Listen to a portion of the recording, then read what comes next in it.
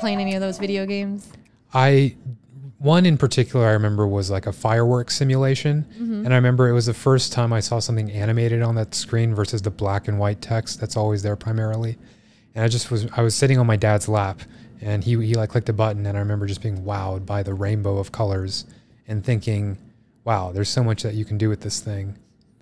And I would like play with my cousin and sister in that I would make these games where I would say like if you know if I type this in the Pokemon world will open up and you can go inside and just make something up like that and they would be so wide-eyed and it was my way of like um, introducing them to um, I guess you could say magic or something mysterious and new The magical world of technology. I guess so I know a lot of people make uh, data science jokes that it's black magic. mm-hmm.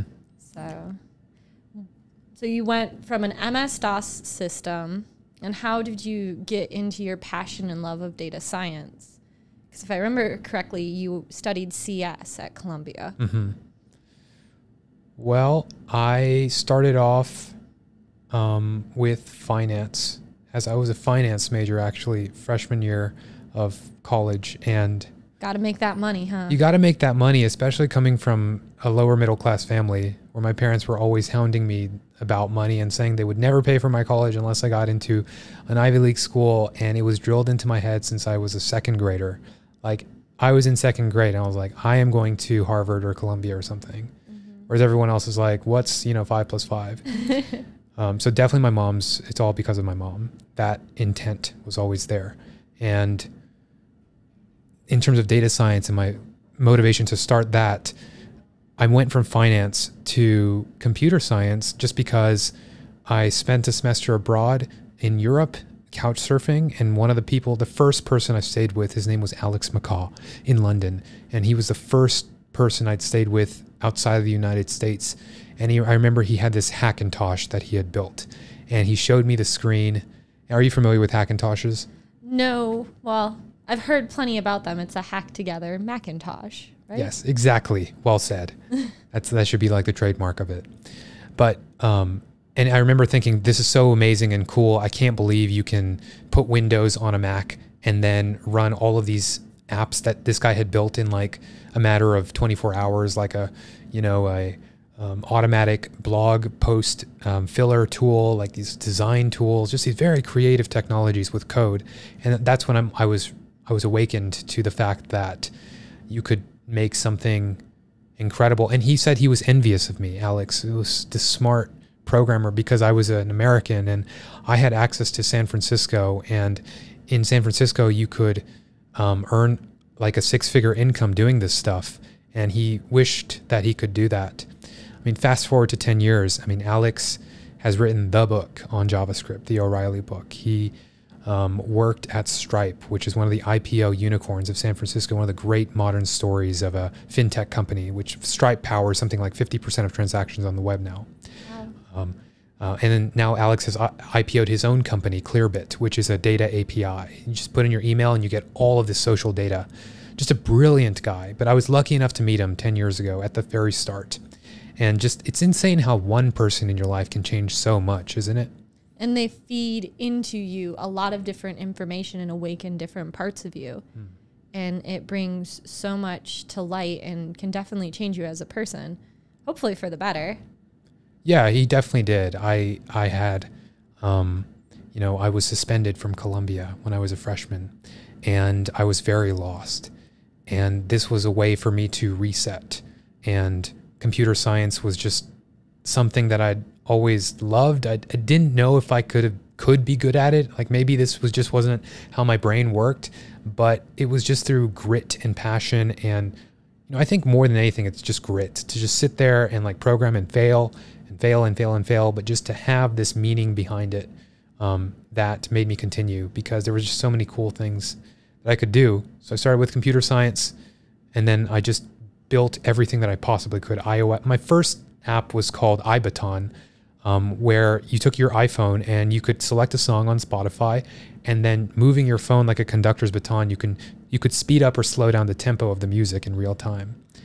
Is that because you had were in marching band and had a lot of passion for music as well, and so it put two of your passions together? absolutely. I've always loved music. Um, you know, in a different life, I'd be a composer or you know a conductor of some kind.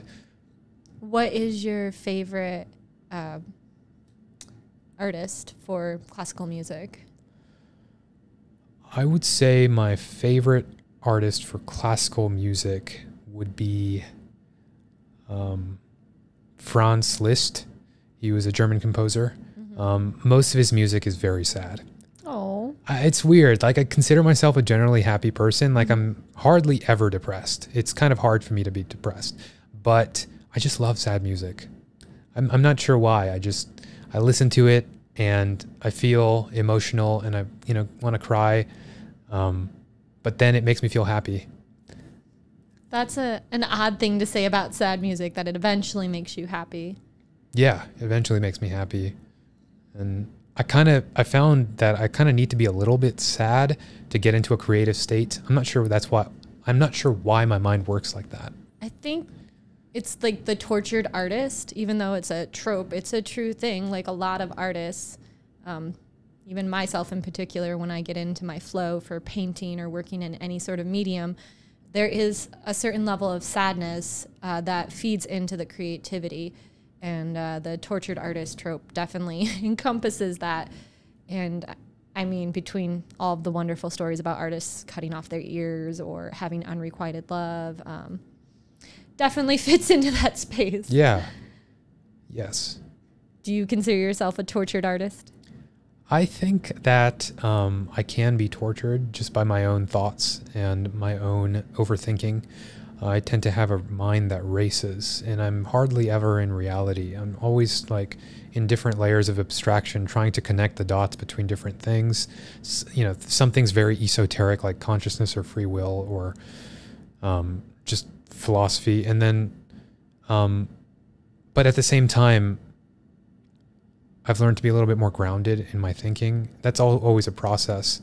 I, I don't consider myself a tortured artist as much as I would like to say. I, I've been very privileged, I think, in my life. I think you've had quite a lot of success. Thank you. Um, I know me personally, when I think, like, my thoughts are so spaced out that if I say them out loud, people get terribly confused because they're not linear. Mm.